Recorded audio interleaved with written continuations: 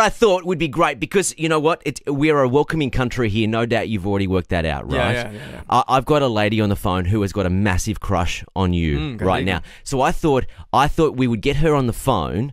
Her name is Frenchie. Frenchie. Frenchie. Okay, we're going to speak to her in a moment, but she's going to razzle dazzle you with a pickup line. That's what I'm talking about. And I want to find out from you, Mr. Worldwide, what you think of the Australian women pickup lines. Now, Frenchie, are you there? I am there. hey, Ah, Frenchie, how you doing, mamita? Good. How are you?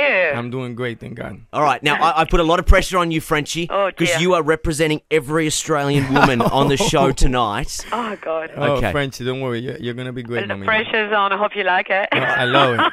I love you- it already. All right, so here, let's paint the picture. You're in the club, Frenchie. Pitbull's in the club. Both got a vodka in your hand. The music is doof, doof, doof, doof. You see him across the room. You go, I want to get Mr. Worldwide. All right. I think I got one. Okay, go for it. Okay, you ready, Pitbull? Dímelo. Okay. Are you wearing Are you wearing space pants? Cause your ass is out of this world. How about the space pants? Hey. Oh, that's great, man. You, you must be in imagínate. Uh, does it work? No, I think I definitely would have uh, sparked a conversation. I'll tell you that much.